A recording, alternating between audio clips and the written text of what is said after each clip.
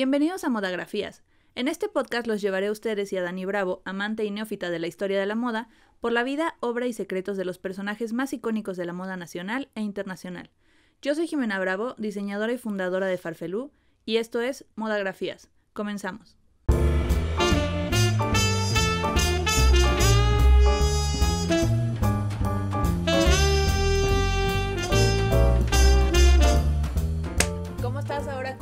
Estás a, unas, unos minutos de diferencia Bien. entre el episodio 1 y el episodio 2 para Pero ti. yo ya estoy. ¿Ya estás ready? O sea, yo ya me puse María Daniela. Hizo sonido láser. Rayos, ya habían utilizado ese nombre. Bueno, Daniela. No, es que María debe ser. prima. María Alejandra. María Alejandra. María Alejandra. Suena como de telenovela. María Alejandra. Sí, No puede ser. Pero suena fuerte, como Sí. María Félix. Me gusta. Pues ya estamos listos para seguir con el siguiente capítulo. Seguir con el siguiente capítulo. No lo quisimos dejar en no solo porque se nos iba a hacer larguísimo y por facilidades para la cámara, la edición. Ay, no. Y porque seguramente este va a estar con más punch, entonces para que se quedan con ganas de más. Vamos a empezar con el episodio. Vamos a empezar con el dominguín. Vamos a seguir con el dominguín. Ya supera el dominguín. Ok, María anduvo Sí, ¿quién con dominguín. dominguín? Si ella lo superó. No se puso dominguín, era su apellido. ¿Quién se pone dominguín? No, pero alguien tuvo que inventar el apellido dominguín. O ¿Quién sea, pone sí. Dominguín? Alguien en el mundo hace muchos años, Yo pero. también, Sabadín. Y tú, Daniela Sabadín. ok. Muy bien, pues estamos en esta época donde María está en España, está en su éxito, eh, grabó Mare Nostrum, grabó, grabó Mesalina. ¿Qué estaba pasando en ese entonces, en la moda, cuando María estaba ahí, con las marcas? ¿Cuáles, cuáles eran los, los, highs, los highlights de, de la moda en ese entonces? A ver, tú dime qué se te imagina, neófita de la moda. Pues Chanel en sus Grand Tour en París. ¿Qué? No compré boletos para eso. Chanel Grand Tour en París suena algo interesante. Amiga, algo que querría a- presenciar. amiga, estuvo y bueno. Chanel.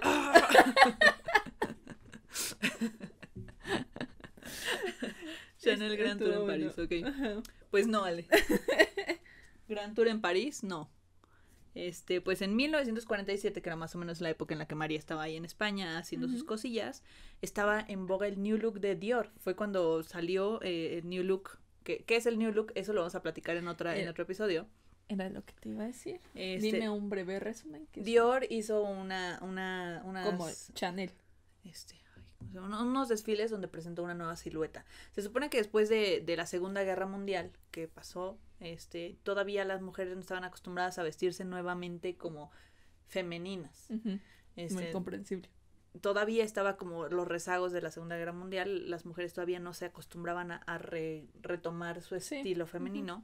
Y Dior sacó esta silueta que era como súper entalladita de aquí. Los vestidos del Sí. cine de oro, súper entalladitos de aquí, cuerpos ceñidos desde aquí y de aquí hacia abajo una falda súper amplia. Ah, súper sí, cine de oro. Ese es el, el new look, la silueta del new look de Dior. Ah, mira. Entonces era lo que estaba pasando en, en Europa. Ajá. Entonces María ya estaba de que en, en esa María ya ves- tenía 100 vestidos así. Sí, o sea, Se María era musa, musa de un chorro, y ahorita lo vas a ver. Pero para que veas también en, en mucho del, del vestuario del cine mexicano, incluso en todos los, los diseños de, de Armando Valdés Pesa, que te los voy a enseñar en, en unas fotos ahorita. Este, si quieren, échenles un ojo. Eran, tenían mucha influencia de, de toda la moda que venía de Europa, evidentemente. Y en eso, el, el new look de Dior. Bueno, luego del éxito alcanzado en Europa, María es invitada a Argentina. Ahí filma una película llamada La Pasión Desnuda, donde se puede apreciar que muchas de las prendas y joyería que usa en pantalla son suyas.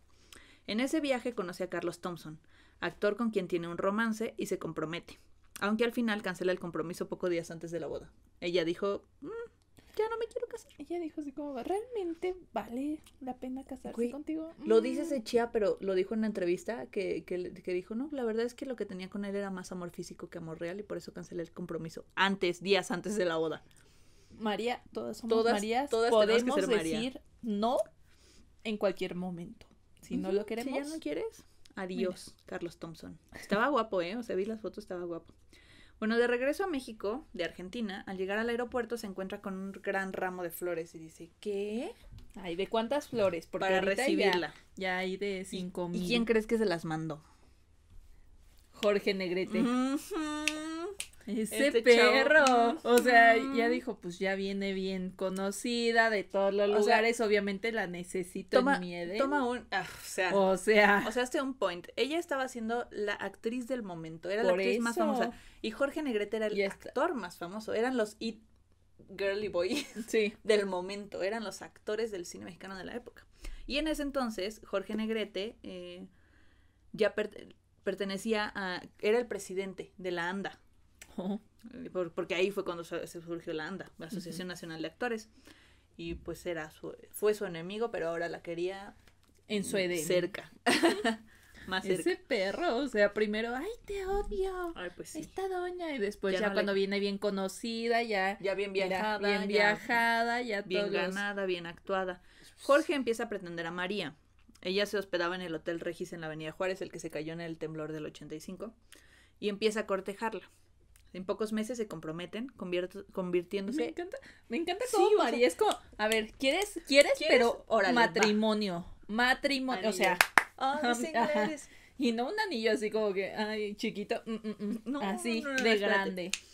Luego de comprometerse, su boda es muy esperada ya que se pensaba que sería la boda del ciclo.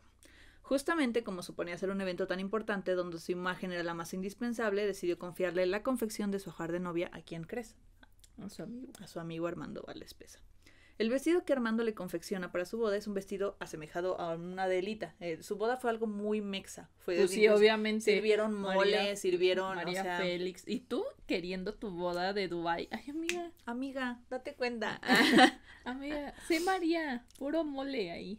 este, bueno, Vámonos.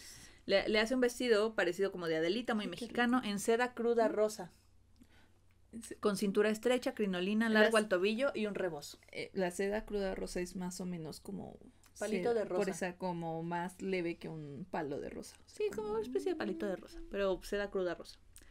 Este, su boda se llevó a cabo en el año de 1952 en la, finca de, en la finca de Catipuato que está en Tlalpan y era propiedad de María. Este, fue cubierta por la XCW y se transmitió a toda Latinoamérica.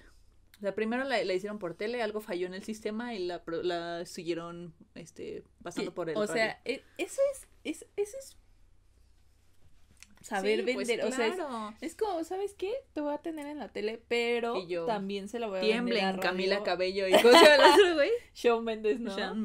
Chon, Shawn- Shawn Mendes. Mendes. Chon Mendes y Camila Cabello tiemblen. Pero, o sea, imagínense, imagínense ese poder de el bodón. María. No, y aparte ve las imágenes. Búscate en YouTube las imágenes de la boda de María y Jorge Negrete. Estaba esa cosa, o sea, pandemia de coronavirus hubiera habido todos contagiados. Porque ¿Cu- estaba... ¿Cuántos indivi- individuos No, no, no, pues es que se supone que María salió de su, de su del hotel Regi- Regis Regis. este, y se dirigió en, en, un, en un coche muy de lujo de esa época a, a la hacienda de Catipuato y cuando llega, toda la gente, o sea, todos estaban esperando que llegara María, pero así no creas que solamente los invitados normales, sino toda, la del gente. pueblo y Toda la así. gente que estaba esperando a María, sí, pero una, una cosa, se casaron así de que están las imágenes, están ella y Jorge así, toda la gente alrededor y un montón de No cámaras. manches. O sea, no, no fue que Lo no te quiero creas. buscar. quiero Búscalo. buscar. Búsquenlo. Este. mm, Un año después de esa boda, Jorge Negrete. Un año después de la boda, Jorge Negrete fallece. Mientras ella se encuentra grabando en Europa La Bella Otero. ¿Por qué me dio risa? Porque ahorita te digo. Pero te voy a platicar rápidamente. La Bella Otero es una película de una mujer que es súper, súper icónica de la Belle Époque este, en, en Francia. Y ella la graba, en, obviamente, en francés. Este, y es una mujer como de la vida galante de, Mm. de Francia. Bueno, cuando María llega a los funerales de su difunto esposo en pantalones, todos como, ¿qué? Pan- ¿Mujer? ¿En ¿Funeral? pantalones? ¿Pantalones? ¿Qué? O sea, fue un, un escandalazo. Y después de la muerte del charro cantor se, se regresó a refugiarse, a refugiarse a Europa. María diría de Jorge muchos años después. O sea, ella decía que Jorge la quería mucho. O sea, que se veía que Jorge le- la quería mucho y le escribía muchas cartas y así. Unas, algunas fuentes dicen que Jorge no la quería tanto, que su re- amor real fue Gloria Marín. Este, pero ella decía que Jorge estaba tan enamorado que la conmovió y no tuvo tiempo de aburrirse porque se murió. así dice, así dijo. O sea, tú, tú Estaba tan tiene, enamorado que me conmovió. Y no tuve tiempo de aburrirme porque se murió. así dijo. tiene un punto porque, o sea, sus anteriores maridos le aburrieron. O sea, literalmente Sí. hubo una convivencia tan harta de los dos que dijeron, va, ya, vámonos. También comentó alguna vez que ella pensaba que Jorge ya sabía que estaba enfermo y se quería dar un año a todo dar. Se quería dar este arrocito antes de jalar. Ay, no, es que María tenía sus puntadas que me siento su amiga. Después de esta investigación me sentí amiga de María. Este, acotación para el chisme 2 antes de empezar a platicar la afición de María por las joyas. Esta es como la introducción hacia, hacia las joyas de María. Jorge Negrete le hizo un regalo de bodas a María y era un collar de esmeraldas. Y cuando muere hay un problema con este collar que María arrastró varios años, ya que el collar no estaba liquidado cuando Jorge se murió. O sea, este perro la dejó. Ay, ¿cómo crees que el perro se murió? Oye, mínimo paga de las joyas Mira, antes de irte. Él, él tenía, creo que cirrosis. Creo que murió de cirrosis, Sí. pero nunca tomó. O sea, él no tomaba. Entonces, Agarró una infección en Nueva York, creo, y se le complicó. mira, amigos, por eso. De hecho, su- sus amigos, cuando dice que cuando fueron a verlo al, al, al lecho de muerte, los panchos eran sus amigos, y les dijo como, ustedes que se la pasan tomando, y yo que, que, que yo nunca hice nada, me está pasando esto. Pues sí, Jorge. Pues así también ve a Pedrito Infante, nunca fue santo. O sea, nunca tomó Nunca y fue santo yo. Nunca, o sea. Bueno, así le pasó a este, a este muchacho. ande. Entonces, cuando antes de morir, bueno, no, de regalo de bodas le dio un collar a María de esmeraldas, pero no lo liquidó. Lo debió de haber pagado. O sea, si Bueno, ya espérate, sabía que estaba espérate, enfermo, Tú mínimo tienes alma de. María. Tú tienes alma de María, así que esto te va a gustar. El joyero buscó la liquidación de esa pieza en la familia de, Negre- de Negrete, pero ellos se deslindaron y lo canalizaron con María. Ella dice que había sido su regalo de bodas y que cómo lo iba a pagar. Decía, ella decía, lo caído, caído. Obvio. O sea, amiga, ya me lo regalaste, ya no hay vuelta atrás. O O sea, este, como dicen, el que, el que da y el- quita con el diablo se desquita. Obviamente. Pues. Eso despertó un descontento que duró varios años entre María y la familia de Jorge, que incluso llegó a juicio y que estuvo vivo varios años en los cuales incluso se le negó a María la salida de México. Cuando era cuestionada acerca del collar solía decir, yo no voy a pagar el collar, porque aquí lo caído, caído. Ay, Eso decía. Super sí. Pero eso, esa, sabe. esa pelea duró muchísimo. Finalmente, después de muchos años, su último esposo, Alex Berger, Le pagó el collar, le dijo, ya. decidió pagar la deuda. Le dijo, bueno, ¿qué tanto pedo? O sea, ¿cuánto debes? Y para eso, o sea, después de que ya había pasado tanto tiempo, realmente el, el valor del collar era esto, pero los intereses por abogados, deudas y todo esto, ya el valor del collar era esto. Entonces terminó pagando de lo que debía, de- como cuatro veces más de lo que costaba Ay, el pero collar. qué bueno, María, ¿eh? Qué bueno. No te dejes, no María. te dejes, María. Qué bueno que no te dejaste, María. Algo importante que no hemos mencionado, pero que es evidente, es eh, eh, de María, su amor por las joyas. Ella amaba los diamantes. En sus cintas y varias entrevistas dejó entrever su afición por las joyas. Así como lo hacía con la ropa, también usaba las joyas para nutrir sus personajes. Y muchas veces eran tributos de su amor, o sea, de otras personas de amor para ella, y otras las y las portaba con orgullo y muchas otras eran triunfos profesionales de piezas que podía comprar con su trabajo. Me imagino a María así como, "Güey, un diamante, este güey me trajo tres, obviamente Sí, o no te sea, voy a aceptar ¿cómo te va a hacer caso? tuyos, qué asco". Ay, no, sí es que María era una cosa tremenda.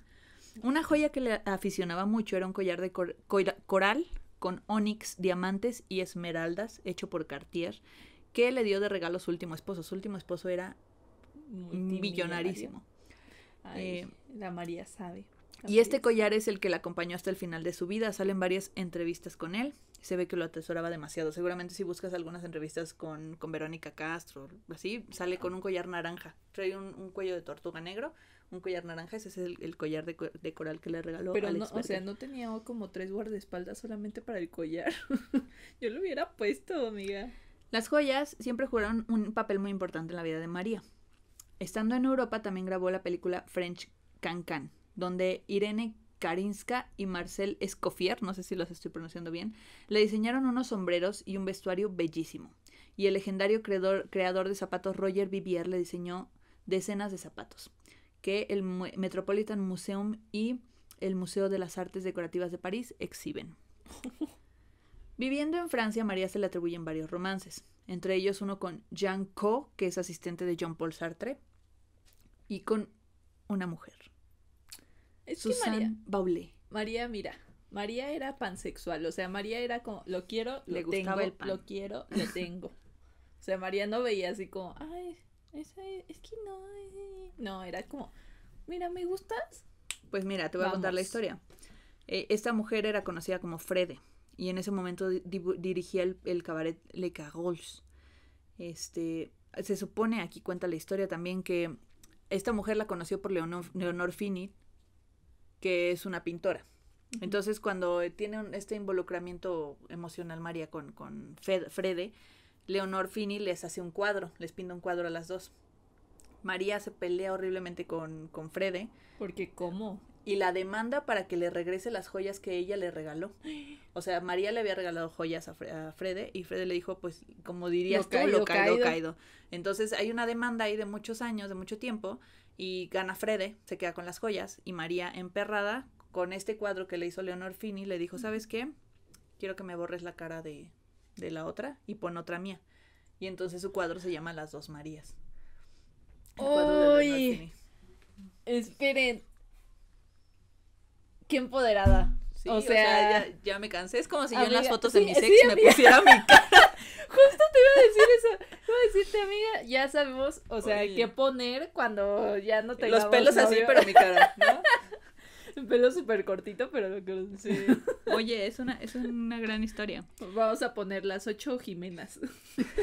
Oye, sentí ese dolor en mi corazón. Bueno, viviendo en Francia, a María se le atribuyen varios romances. Ah, no, ese ya, ya lo había dicho, ¿verdad? Para ese entonces a la doña ya la vestían varios, los mejores diseñadores del mundo de la época, aunque tenía sus predilectos, entre ellos Christian Dior. María Félix era una mujer de excesos, y eso lo llevó a su ropa, a su estética, a quienes la vestían, y Dior no fue la excepción. La doña gustaba mucho de joyas barrocas y exuberantes, y eso siempre le planteaba un reto. La periodista Laurence Benaim, en el libro Women in Dior Portraits of Elegance, narra lo siguiente. María tenía sus piezas favoritas como el Batelior, un abrigo mitad lana negra, mitad pantera. En 1947, de 1947, o el vestido de noche Bruxelles, de tul rosa, totalmente bordado de perlas que le daba un aire muy goyesco de 59. La doña se vestía para cócteles, grandes cenas y bailes y siempre adornaba sus, sus trajes con joyas extraordinarias. Sí, Marlene Di- Dietrich era el blanco y el negro, piernas y hombros, María Félix era la piel, las curvas y, el y ese resplandor suyo tan profundo e intenso. ¿Cómo, ¿cómo pones joyas a un abrigo con pantera y lana? ¿Cómo, cómo no pones joyas en un O abrigo de ¿cómo pantalón? O pones- sea, ¿Cómo pones Hello. joyas en un vestido con perlas? ¿Cómo? y, y María lo lograba y lo hacía bien. Sí, O o, sea, sea, eso, es lo que me Mm, impacta. no. O sea, que María sabía, tenía gusto. O sea, era como... mm, En Europa la vistieron marcas como Jean Dessay, Christian Dior, Valentino, Coco Chanel, Givenchy, Yves Saint Laurent, Bijon, Balenciaga y muchas otras. La casa Hermès de París, Hermès, porque no es Hermès, Hermès, me van a regañar. La casa Hermès de París le, dedicaba un- le dedicó una doble página a la doña en un libro que publicó en 1995. Hermès, famosa por sus sedas y sus artículos de piel, le ha confeccionado ropa, bolsos y todo lo relacion- relacionado con la cuadra de caballos que tenía en Chantilly. Después de que se murió su último esposo, Ajá. ella se quedó en Francia y tenía una cuadra de caballos que ganaba un chorro de premios. Y todo lo que tenía que ver con su cuadra de caballos de Chantilly se lo, ¿Todo se lo era hacía? Hermès. Ay, María siempre, María siempre gustó de coleccionar telas antiguas, encajes, linos, sedas y cuando quería confeccionarse algún vestido o abrigo, echaba mano de ellas sin importarle si eran cortinas de un palacio chino o telas del siglo XV. Mar- María, María, ¿cuánto, cuánto, cuánto, ¿Cuánta sabiduría? cuánta cultura mató ahí también? Sí, ¿eh? Escucha esto. En una ocasión alguien le regaló una capa pluvial, que es una capa de padre, de, de- sí, de padre, ¿no? Este, ay. Y ella lo usó como falda y comentó, mi cintura es del tamaño del cuello del cura.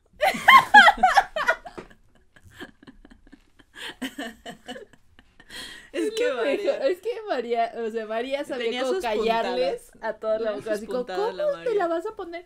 Y ella, o sea, por Dios, mi me cintura cabe, es del tamaño del cuello del cura. me cabe la cintura en donde ahí le cabía el cuello. María tenía una gran conexión. Ah, esto, esto no está tan chido. Una, una gran colección de abrigos de pieles, todos diseñados Oh. para ella.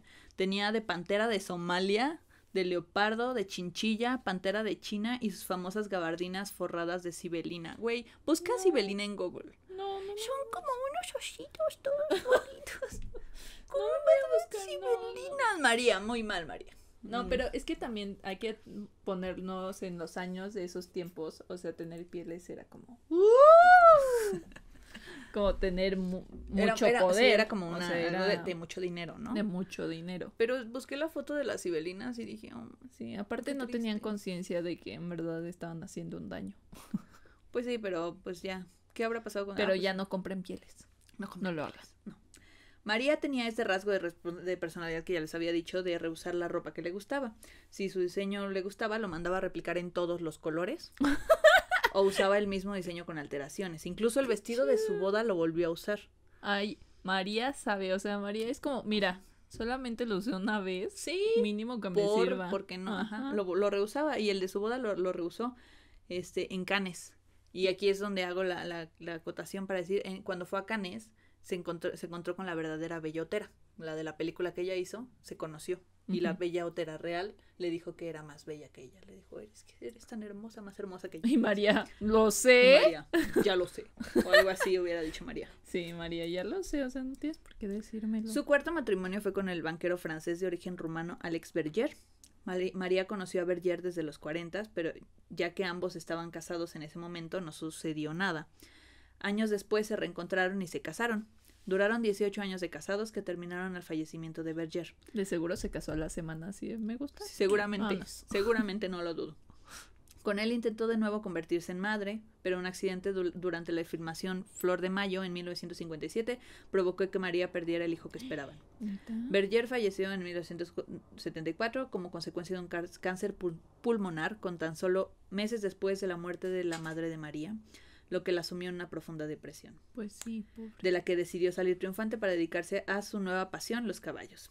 Algunos de sus ejem- ejemplares llegaron a ganar importantes premios hípicos internacionales. María conservó su cuadra durante 11 años. Es lo que les digo que le- Hermes les hacía toda su... Hermes. Hermes, perdón.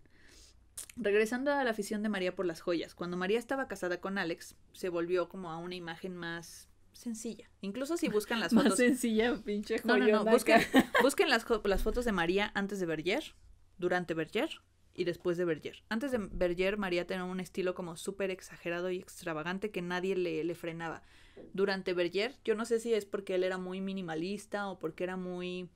Ella le bajó, le bajó a su tono y por eso el collar de corales era su pieza más excéntrica cuando estaba con Berger.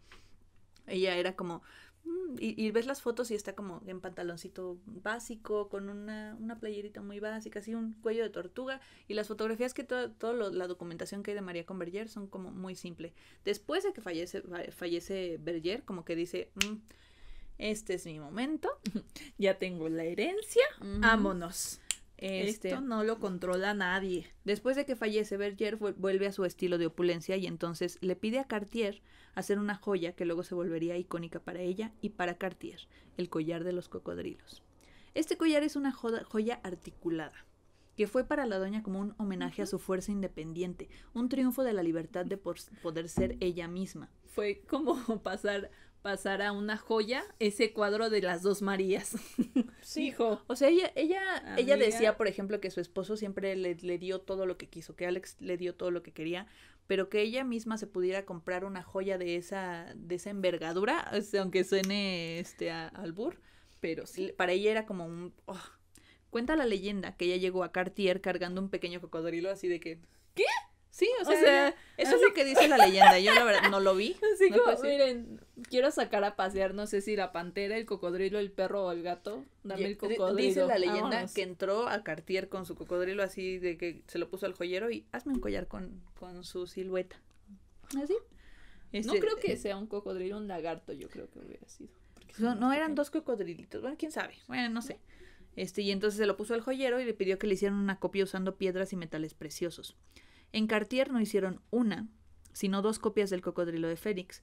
Uno con esmeraldas, otro con diamantes amarillos, y se pueden usar individual, individual- individualmente como broches o se pueden unir para formar un collar. O sea, son dos, uno de esmeraldas y Ah, uno de yo no diamantes. sabía eso. y hacen esto. y son articuladas, sí, o sea, si te los pones, si los traes en el cuello y vas caminando, los cocodrilos se mueven. Es ¿Qué un es collar esto? carísimo de Parich. Ay, Literalmente carísimo de Lo Parich. quiero, no lo voy a tener, pero lo quiero. ¿Cómo vamos? Al margen de que es una pieza fabulosa y de que María pudo vender de regreso el Cartier en vida, o sea, ella, ella los usaba, usaba mucho de su joyería, la, la, la vivía un rato y decía, bueno, ¿El de Con Coral lo vendió? ¿O ese el de sí Coral se sí se lo quedó hasta el final. El de los de Cartier sí los vendió. Este, al margen de que es una pieza fabulosa y de que María lo pudo vender en vida de regreso a Cartier, es la única mujer latinoamericana que ha sido objeto de un doble homenaje por parte de la casa Cartier. Al- a los cinco años de su fallecimiento, Cartier sacó una colección homenaje a María Félix y nuevamente en 2019 le volvieron a hacer un homenaje con una evocación a su collar de cocodrilos. Es que sí, yo recuerdo ese año que se- yo conocí el collar, Collar de cocodrilo. Pues sí, fue el año antepasado. Ujú. Muy- Que fue cuando Pero dije, el collar de cocodrilo no fue el único pedido que- de la generala eh, a Cartier. En 1968 ella había comisionado una prenda llamada collar serpiente, compuesto de platino, oro blanco, oro amarillo, dos esmeraldas en forma de pera en los ojos, esmalte verde, rojo y negro. De- tienes que ver ese collar. Pues ese collar es... ¿Qué? Es una serpiente que está enrollada en su cuello. Ujú. De hecho, hay una, no sé si es una entrevista o está llegando una alfombra roja donde alguien le pregunta por, por las joyas y dice como, pues es que así me gusta ver, a, a la gente le gusta verme así. Ah, yo me las pongo porque a la gente le gusta. Y en María, otra entrevista donde creo que es este Ferriz, Pedro Ferriz, que le dice que por qué siempre anda tan enjollada y ella así como, pues es que ni modo que venga chancluda, ah, no, no puedo venir guarachuda, dice, a la gente le gusta verme así, o a ellos les gusta que me ponga mis joyas y lo que traigo de París y así como muy... es que- sí, o sea, María decía, me quieren ver bonita porque dice la canción María Bonita, siempre me van a ver bonita, siempre. La espectacular pieza contiene un total de 2.473 diamantes de talla brillante y un peso de 178.21 quilates. Su última pareja sentimental fue el pintor ruso francés, el, el que me decías un francés, Antoine Sapov. Respecto a él, María comentó, no sé si es el hombre que más me ha querido, pero es el que me ha querido mejor. ¡Ay! Papantla, tus hijos vuelan. En los últimos años de su vida, de su vida, María se dedicó a hacer eventos sociales, a homenajes, entrevistas, entre ellas una que particularmente se convirtió en mi favorita, esa fue la que estuve viendo que María era percibida como una mujer sumamente arrogante, altanera, pero todo era por tener voz. Hay hombres que hablan de ella haciendo mención a su belleza como el único medio por el cual consiguió su éxito, porque en su tiempo, y en el nuestro tampoco, no era concebida la posibilidad de que una mujer lograra todo lo que logró María si no era gracias a la ayuda de su belleza. María se ganó la fama de ser mala con los hombres y por no permitir que la manejaran. Tenía mucha misoginia internalizada, eso sí, o sea, no era, no era la mujer más feminista del planeta, pero eh, sin saber estaba des- desgajando en ella los pasos de la voz del feminismo. Y para, para muestra este pequeño fragmento de la entrevista que le hizo Verónica Castro en el programa La Tocada. Verónica, este es un mundo de hombres, hecho por y para los hombres. Lo vemos en todos los aspectos de la vida. El mundo está hecho por y para los hombres, dijo Félix. En un mundo de hombres como este, quiero avisarles que tengan cuidado. Ahí viene la revancha de las mujeres. Cuando seamos mayoría, vamos a mandar. Y para mandar, hay que estar informadas y aprender y estar preparadas. Por eso es necesario que la mujer se eduque. Escuchen bien, no va a haber muchos programas como este, así que mujeres, abusadas, a estudiar, a aprender, a informarse de todo. Esa o sea, Incluso le dice a. Verónica en una parte, yo ya no lo voy a ver. Te va a tocar a ti, a mí, a mí ya A no mí me va a no. tocar. O sea, esa o sea, sabía, o sea, sabía el movimiento feminista, que bueno, a ella no era como tal una feminista, pero sabía el, mundo gobernado por hombres, el patriarcado, Patriarcado. que se había formado, por eso decía eso. Es que ella lo vivió desde el inicio de su carrera. Ella se Ah, dio cuenta desde el inicio de su vivió carrera. desde su esposo, su primer de, esposo. de hecho dijo que el primer machista que conoció fue su papá. Fue El primer Obviamente. machista que conocí fue mi papá. Y con su primer esposo igual le cuenta, contó una anécdota que me dio mucha risa, que decía que, porque Verónica le pregunta, este, ¿qué hacemos las mujeres? No sé qué, y María le dice, yo he sido una mujer muy golpeada. Y Verónica, "Ah", y le dice, pero por los actores, en la vida real no. Y le cuenta que cuando Pedro Armendáriz le dio una cachetada en enamorada, le, le rompió el oído. ¿Neta? Que otras actrices cuando le, le pegaron en, en, en otras películas también la dejaron con calentura un mes y no sé qué, bueno, seguramente exagerada, ¿no? O sea, No, yo ¿Qué le creo, yo le creo a María. yo le, cre- y le creo, le creo. Bueno, le crees a María. Pero bueno, entonces en la anécdota cuenta que su primer esposo una vez le iba a pegar, o sea que le levantó la mano y le dijo, pégame, y mañana vas a des- despertar descuevado. Creo que le iba a cortarlos, así le hizo la señal. Dijo, atrévete a pegarme, mañana despiertas deshuevado. Así, así, amigas, así. María Félix murió mientras dormía. El 8 de abril, el mismo día que nació, el día de su cumpleaños, murió. 8 de abril del 2002. es no, la el, vida. no, el, no el día que nació, porque si no, No, hubiera existido. Ajá. Pero, el- o sea, el, el 8 de abril, el día de su cumpleaños, murió María Félix, pero en el 2002. Aparte Aproximadamente- dormida, Qué rico, o sea. A la dormida. 1 a.m., hora de la Ciudad de México, pero hasta las 10 de la mañana se descubrió su cuerpo sin vida. Sus restos descansan en el Panteón Francés en la Ciudad de México. Antes de esto, o sea, se supone que en el 96, cuando yo vi la entrevista esta de, de Verónica Castro, murió su hijo. Entonces, para María fue, Ah, su- la catástrofe. fue horrible. O sea, porque era el, el El amor de su vida, era lo único que tenía, su único El hijo. único hombre que en verdad amó. Yo creo. Yo creo que Tenían sí. una relación medio rara, pero sí. Pero sí se querían mucho. Entonces él se murió de un infarto cuando María estaba en París. Le hablaron, le avisaron que, que se había muerto su hijo. Entonces pues, se de- devastada y dice, o, o sea, yo vi una entrevista, por ejemplo, de Luis Martínez de Anda, que fue su heredero universal. La última puntada que hizo María fue dejarle todo a su chofer. María sabe. O sea, María. La es que última, mira, así desde, desde no, donde no fue estaba. dijo, contada porque dijo quién fue la única persona que en verdad Que estuvo, estuvo con ella. conmigo o sea no los mojigatos de que vienen y ay María ay cuánto Sí, no. te quiero María ay". De hecho, su hermano, Sí, su no. único hermano que vivía, impugnó el testamento y tuvieron que desenterrar a María porque él dijo que lo habían, la habían envenenado. ay, ay, La desenterraron para... nunca nunca nunca le llamó pero ¿por qué no me dejó la herencia Ajá. Entonces la, la desenterraron ¿Por para ver que no la había envenenado el, el chofer. Ay, Y luego ya dijeron, no, pues no la envenenó. Ya, se murió natural y la volvieron a enterrar. aparte de ser el chofer así de repente te despiertas y ah sí tienes una herencia de millones y millones y joyas y terrenos O sea, es que él ya, ya tenía muchos años trabajando con María.